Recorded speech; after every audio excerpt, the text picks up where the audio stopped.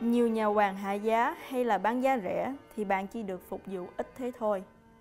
Phục vụ không chu đáo, ít quan tâm, đánh giá thấp tầm quan trọng của bạn. Họ chỉ lo chi phí của công ty.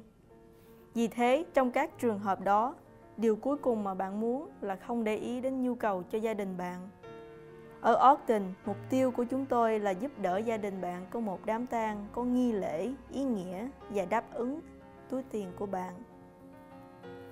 Chúng tôi là một gia đình nên luôn tự hào với sự phục vụ y như trong một gia đình và không có áp lực bán dịch vụ mỗi tháng.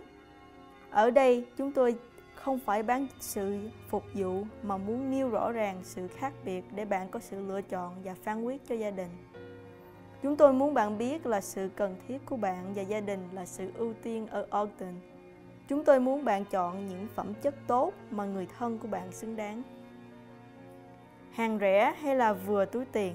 Sự khác biệt là chúng tôi phục vụ đầy đủ, chu đáo và vừa túi tiền.